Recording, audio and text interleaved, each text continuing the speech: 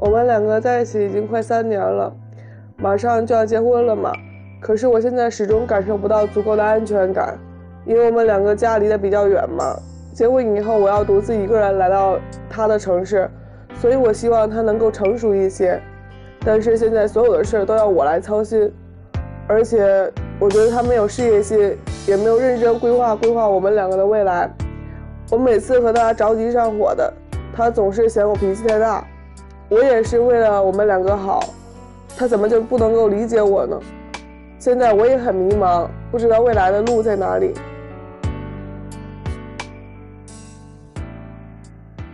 掌声有请，有请。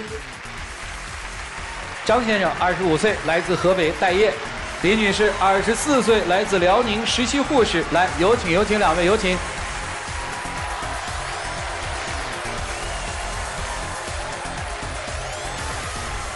欢迎两位哈！今天谁要来的？我要来的。要干嘛呀？就是最近感觉心里缺少关爱，然后感觉他没给我得到那种足够的安全感。说说怎么了？发生了什么事儿？嗯，主持人是这样的，嗯，我们两个认识快三年了嘛，然后也快到了谈婚论嫁的地步。我们两个年前回趟家嘛，说家里要给我们装修房子，然后到家了之后，我们跟他父母商量好了房子怎么装修。当时是商定好的嘛，呃，我们家两扇门，一扇先打掉，然后一扇改成推拉门。但是这两天不过年了嘛，回来串亲戚，然后一发现这个门并没有按当时我们商定好的去打掉了，然后也没有改成推拉，然后我心里就特别不舒服嘛。我说，你跟你父母问一问，我说这个门我怎么就没按照咱们当初商量好的去来呀？然后他当时就不耐烦了。一开始是商量好的，我父亲怕那个门打掉之后就是漏风，所以为我们俩着想，就是没打掉那个门啊。没事儿吗？我们也理解父母，我也不是说非要把这个门打掉。当时我并不知道这个门打掉还要把地板凿起来，然后他就说父母怎么不容易，就为我们装修房子。我本来让他管这个事儿的，然后他从来也不管，问也不问，然后这出摩擦了嘛，然后他还不管，什么也不说。不是出什么摩擦，谁跟谁摩擦？到现在为止我也没听见，我就觉得你自己跟门在摩擦，你知道吗？我当时就是想把那个门改一下嘛。不是客观条件改不了吗？我也没说非要改呀，可是他当时就是说我无理取闹，当时就凶我，跟我说哭了。哦，行，这事儿我们先给他记一笔。还有其他事儿呢，他对我俩的事儿从来也不上心。那你说我们两个快要结婚来我家提亲，嗯，但是到我家吃了好几顿饭了，他一直也没说呀。但是我跟他说了，我说在酒桌上什么话都好说，亲戚都在，帮你左一句右一句就把这事儿互就说过去了。啊，然后他也不着急呀，就是提亲嘛。提没提？到最后也是提的，因为我你好意思说？最主要我比较腼腆，第一次去他家，我就比较紧张嘛。就是一开始想好了怎么说了，就是一开始也没张开嘴。后来呢？主持人，你不知道他在我家待了五六天了，吃了多少顿饭了？我都左一句催他，右一句催他。我怎么觉得你特别在乎他在你们家吃了很多顿饭这件事儿啊？就是我感觉在饭桌上好解决事儿嘛。你要解决没解决？现在？就是解决了，还是我爸最后说的。我爸也是心急了，因为感觉他特别腼腆，然后我就替他打圆场呗。你爸怕你嫁不出去啊？也不，小张，我爸什么时候娶我闺女？是这么说的吗？不是，就是说那意思，去家里去他家里看一看。跟小张说说，小张什么时候我们去你们家看看？对。啊，你怎么说的？我就顺着往下说了，我说从年前吧，您有时间回来带着您去我们家那边看看啊。那你说他娶老婆都不上心，那我爸嫁女儿更不着急了，那你怎么就一点也不上心？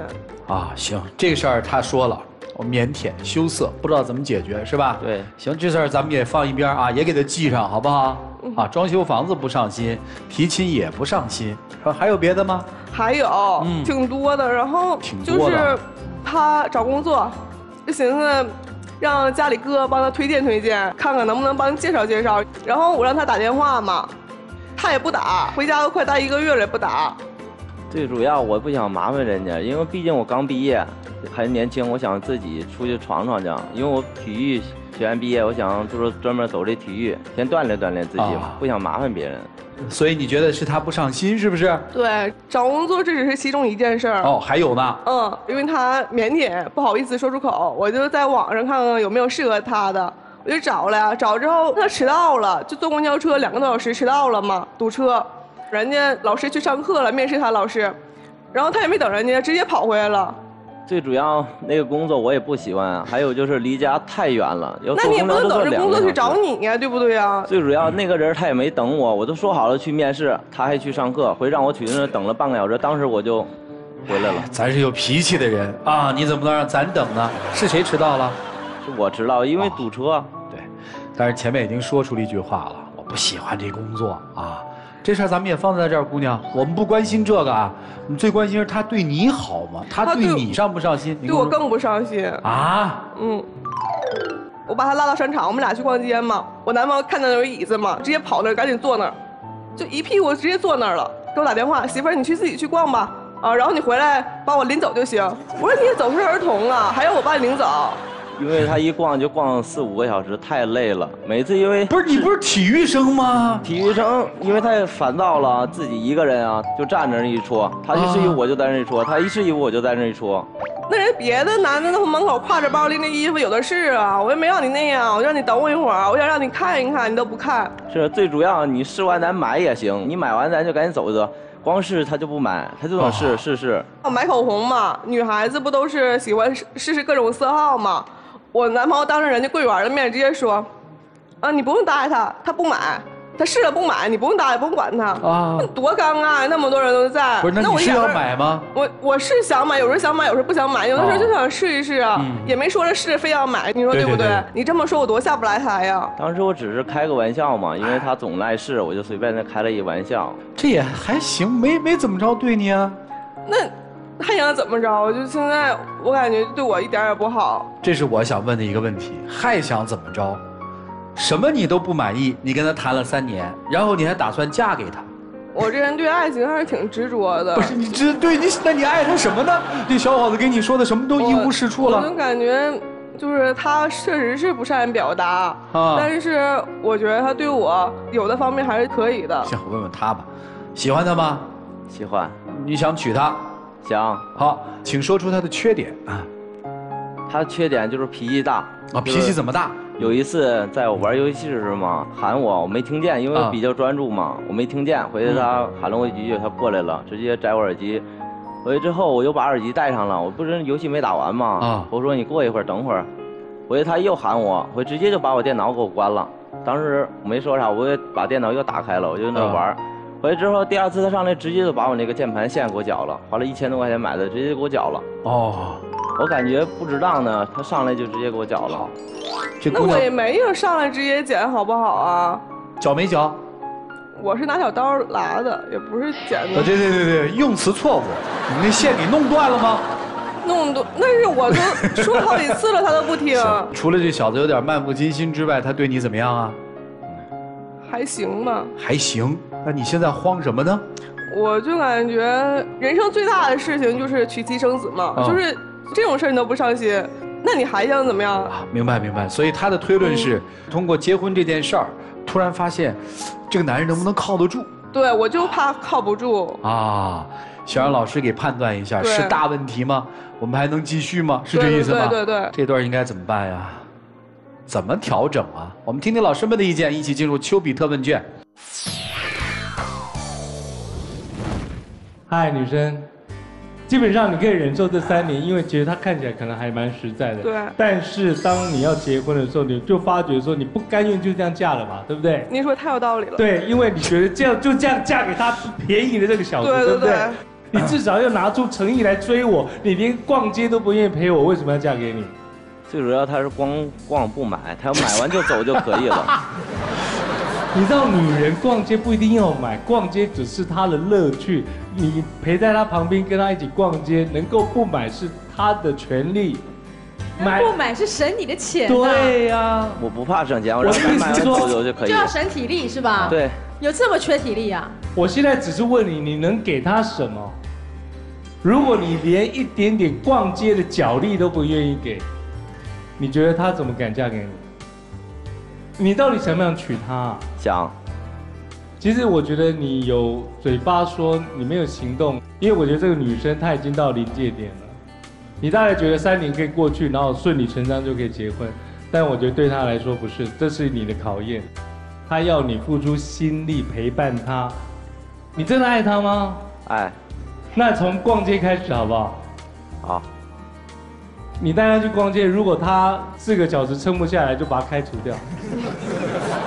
我倒想问问女生，刚刚呢，国伦老师说，如果今天他连这个四个小时的这个逛街体力都拼不过，他可能就娶不到你了。好，我就问你了，真的娶不到吗？我的意思是，你今天来这儿问我们说，这男人能不能嫁？我现在好迷茫，对吧？你们给我把把脉。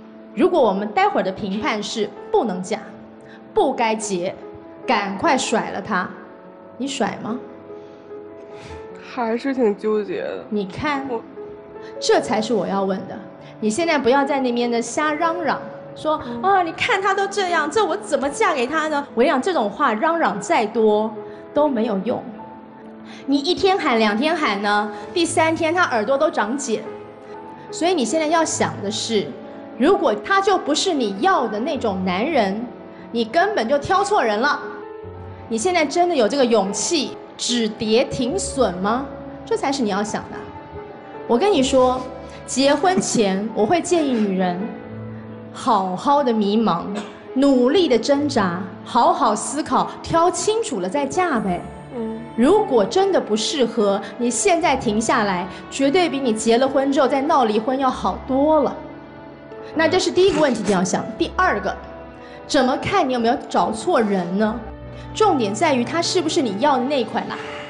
你说我对爱情是好执着的，但是你不能挑了一个苹果，硬要它变成是西瓜呀，你懂吗？如果你就爱吃西瓜，我拜托你可以买个西瓜回家吗？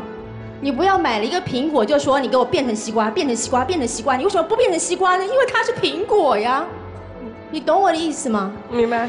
老实跟腼腆有时候就是一样的意思嘛。你不能又要他老实，但是又要他能够跟你爸爸妈妈花言巧语啊，这是矛盾的呀。所以你到底要什么？不要又要他这样，又要他那样，你的要求要标准化。如果真不是你要的，别嫁。其实很简单，就是明明很合适，偏偏不满意。啊，姑娘，你是一个掌控型的情感。模式，它是一个被动型的情感模式，你很着急，他很慢，你很。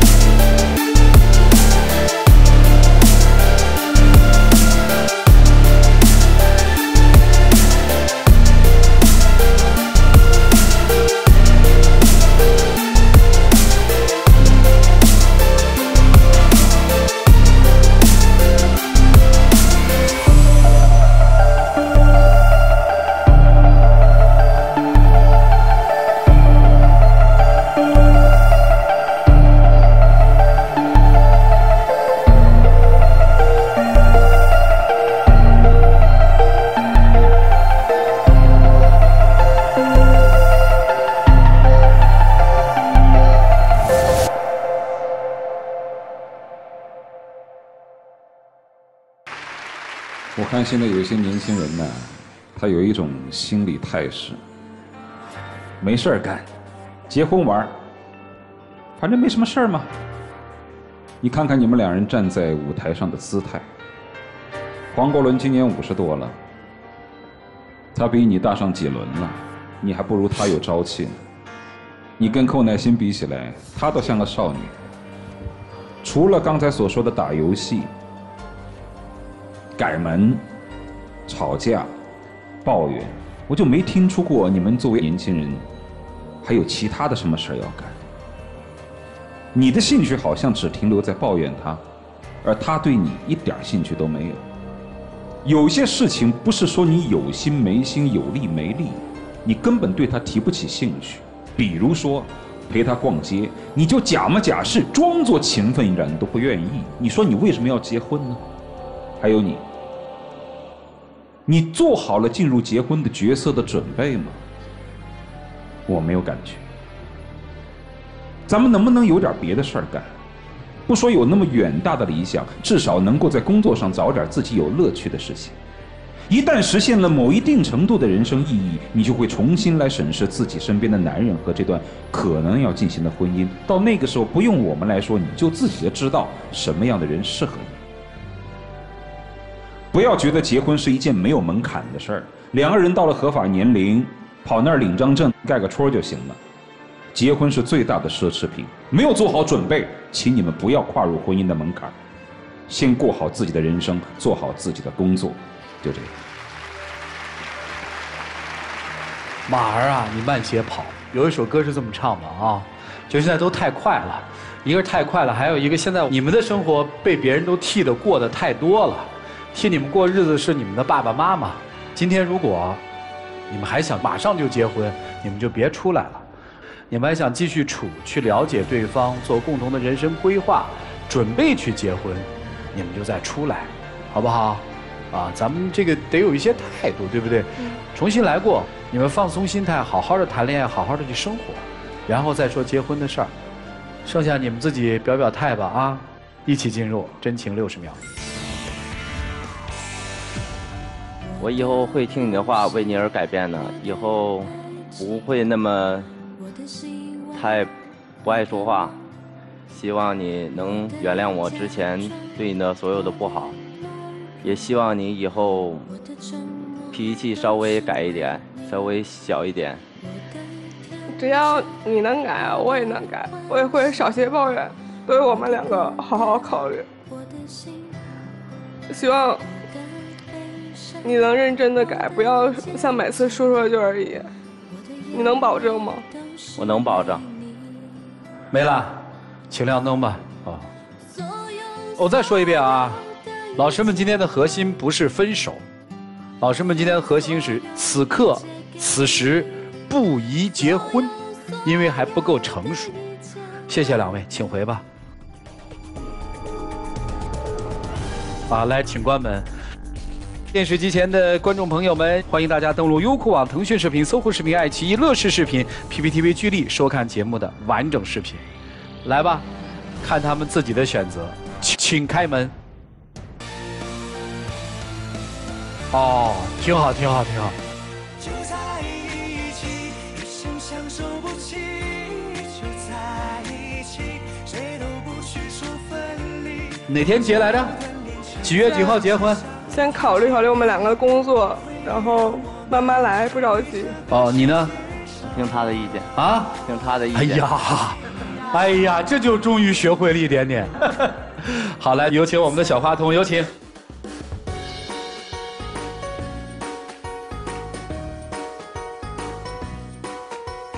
成功牵手的男女嘉宾将获得由伊贝诗提供的深海纯净水嫩保湿套盒，二十四小时保湿，实时透水嫩。来，各位，请见证属于他们的浪漫时刻，请见证。媳妇儿，这就当我一个承诺，我会以后也会保证会为你而改变的，我爱你。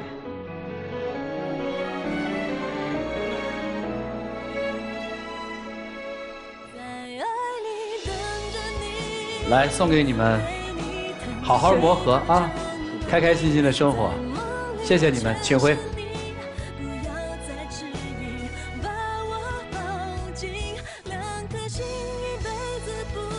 祝他们幸福吧。